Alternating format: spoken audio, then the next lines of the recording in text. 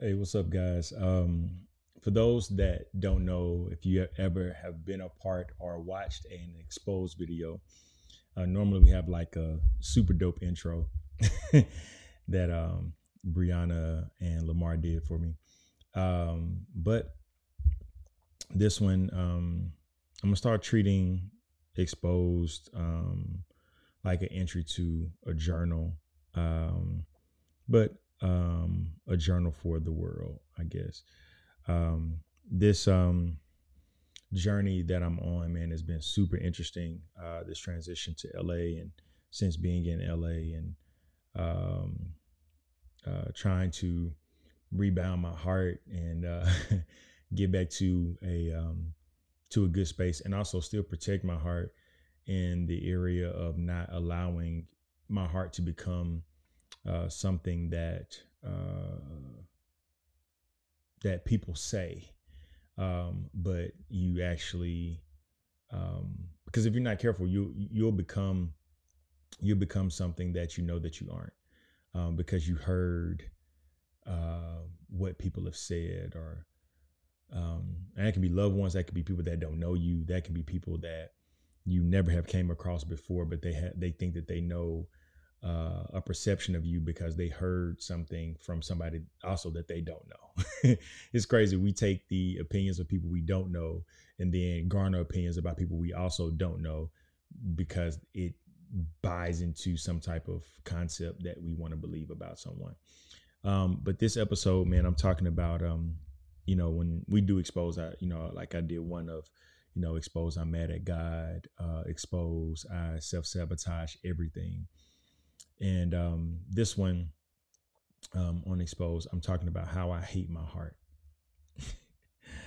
how I hate my heart. Um, this past uh, Sunday, I had an opportunity to go and to support my big brother mentor. Um, he had to speak at a at a church, and um, the church was um, in DC, and it's my sister's church, Kalita Forbes. Man, she's absolutely amazing super prophetic, super. She's just a teacher, preacher. She's also a therapist, and she just has this nature about her. And um, uh, I surprised her, and so when I walked in, she uh, immediately, you know, had a word for me and uh, wrecked me immediately, wrecked me immediately. And um, but she talked about uh, my heart, and she talked about how um, I cannot or I should not change my heart. And um, a lot of times, man, and I don't know if this is you, but you know, have you ever been at a place where you hate the way that you're wired? You hate the way that you think. You hate the way that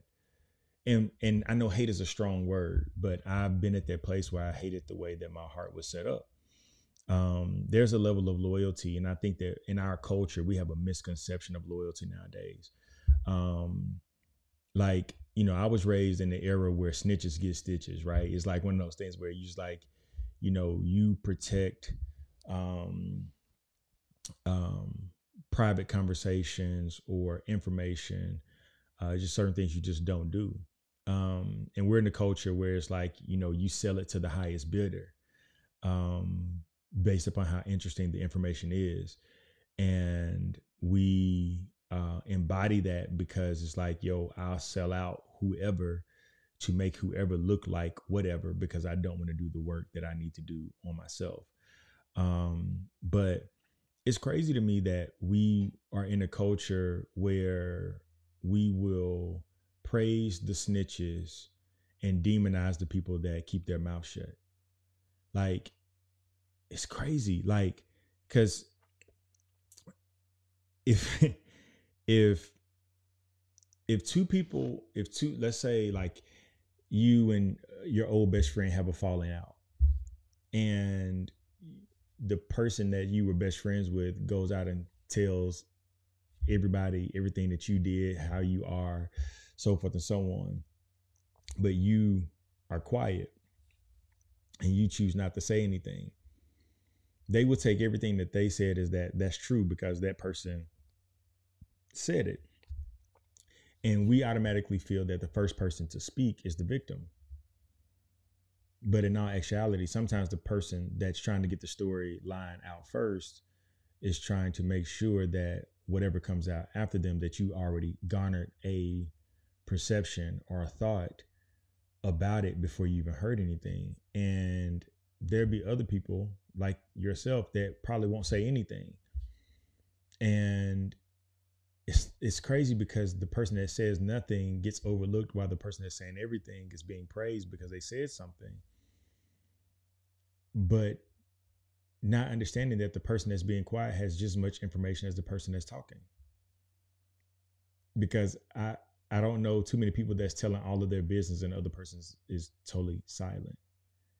We you you know usually in conversation it goes both ways. It's where one person shares and the other person shares and the other person shares and the other person shares. So you have, we have to be very careful that you know oh i'm hearing a side or i'm hearing sensitive information. But that person probably has sensitive information too. And so sometimes what i've done is i've hated the way my heart was set up in the context of not perfection.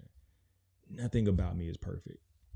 I, I remember when i was pastoring i literally would get in my pulpit and i would tell people like yo like i'm not perfect i make mistakes i make dumb decisions um it's just i'm different because I get a chance to fail in front of you.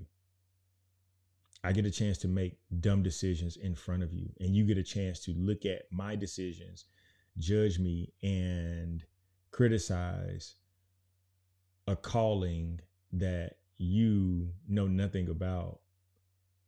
And I still got to show up every single day. Um, and sometimes you want to fire back, and sometimes you want to say certain things, and sometimes you just want to get as low down as everybody else is. But the reality of it is, is like you can stoop to someone's level, but they're gonna beat you with experience. You can go as low as you want to go. You can, you know, as as messed up as they say certain things, like you can do that, but they're gonna beat you with experience. They've been they've been down there doing that. They they have experience in doing that, and you're stepping into it, and you're new at it, and so they're gonna beat you with it every single time. And I don't know if that's you, man. But I've been at that point where I've li- literally hated the way that I was wired. And I asked God, like, God, why did you wire me this way? Because some people will look at it as you're being weak. And then some people look at it as like, oh, because you don't say anything and because you do believe in loyalty and keeping people's information, people's information, that you're the weak one. And then you begin to hate the way that you are wired and hate the way that you uh, think and hate the way that you process things. But i've come to a point where as much as i've hated the way that my heart was set up the ability to forgive the ability to um, not repay evil with evil the ability to um, be misunderstood and to sit in that and just be misunderstood um in that I've had to look at it and be like, yo, like I must be weak. And I don't know like if you've ever felt that way where you felt like you were weak because you did not respond the way that you wanted to and you got to sit in the house and and mull over those thoughts and think about what you should have said, what you could have said, what you should have did, um, and you still choose not to do it. And I really want to encourage each of you with the thought process like if you do those things and if you hold back and if you bridle your tongue and if you can live in a space of being misunderstood, I believe, I believe that that's an unction of the Holy Spirit. Like the Holy Spirit begins to like keep you from doing everything that you want to do. Um, but I've, I've, I've, man, I've, I've hated it. I've hated it, man. Like, um, those that have watched my videos before, um, you know, I did a video about um, sexuality and I talked about how I was molested by a man and raped by a woman, right? Um, two different two different two different situations, but same age. I was 13 at both instances. And um for years, like even now at this grown age, I ain't gonna say what age, but at this grown age, um, I've asked myself, like, how could you just forgive that and talk back to that family member as if nothing happened? How could you, For, how can you forgive that and see that person and still speak? And like you, you begin to think like, I could really, I could really like say something and I could really do, and but you can't. And then you start to feel like you're weak. And then you start to feel like, yo, like, well, anybody can do anything to me and I'm they just gonna get over on me and they're just gonna and then you begin to second guess your own ability to stick up for yourself or to speak up for yourself. And as a man, at times you feel like that's all you have because masculinity, as we've been taught, is how well you can flaunt your strength. And then we begin to think that um, strength is only strength when it's on display but a lot of times strength is strength when it's reserved and meekness is strength under control and the bible talks about meekness but we don't have to go there. It's not bible study. But you know it's just one of those things where you begin to think like man why am i wired this way? And why can't i do certain things? And why can I express certain things? And why can I do what other what everybody else does? And how come I can't? Ah and it just drives you crazy. And if and if this is you and this is resonating with you I just want to tell you man like as much as you probably hate your heart don't resent it don't like as much as you hate as much as you hate maybe the way that you think or the way that you process things, the way that you feel, the way that you operate, the way that you perceive, whatever whatever the case may be, don't. Because you can be viewed as weak, but I believe that God views you as strong. And um, I look at people that are consistently under attack by the content that they put out. I look at other pastors that, you know, are always people are always trying to counsel them. People always got something to say about everything that they do. People always got like it's a challenge in any public leadership capacity to guard your heart and for you to stay true to who you are because it's so easy for you to conform to who people want you to be. And people will continue to paint you out to paint you out to be the villain until you become one. And then when you become one, they'll say, Ooh, see, see, see, I knew, I knew no, it wasn't. It wasn't that that person was. It was that that person became because you all you told them that they were. It's the same way I think like when with us like raising kids. It's like we call them bad all the time. You just bad, you bad, you bad, you bad, you bad, and then they begin to act out what they have been hearing their entire lives. Word curses and operating from word curses is a real thing and people and as much as we talk about manifest in, in, our culture and we talk about you know, I'm going to keep saying it until it manifests. Do you not understand? We can keep saying things until they manifest in people. And we can say, oh, well, no, like, no, uh uh-uh, uh, that's not true. No, it's like because we begin to see what we begin to say. And as long as we say it, we'll see it in them. They could be operating totally different, but we will see it in them because we keep saying it about them. And then we will pick apart everything concerning their lives. And I think that that's the challenge, man, right now. Like, we want we want certain leaders to step up to the plate. We want black leaders. We want we want leaders to you know stick up for our rights. We want this and this, but we got so many leaders that are that are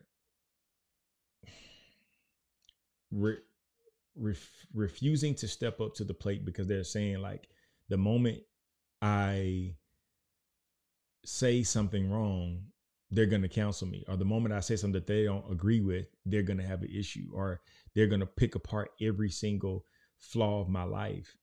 Eh, eh, you know like i think about this often. Um if if if ml king lived in the day of social media would we be highlighting his infidelity, or would we be still talking about what an amazing leader he was? Because two things can be true. Somebody can have a struggle and they still could be an amazing leader. Somebody can have a drinking problem and still be an amazing leader. Somebody can have a cussing problem and still be an amazing leader.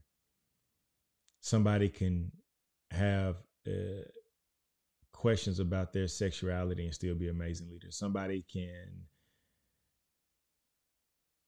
somebody can be wrong in one area and still be right in another area. And I think that what we tend to do is that we tend to throw everything out with the person. And the challenge always is to continue to guard our hearts. And that's hard. It's hard to do. And um and so if this is you and you are at that place where you have regretted the way that your heart is set up or you regret it the way that you think or I'm just telling you don't. But I know it's easier said than done because trust me, I live in that space too.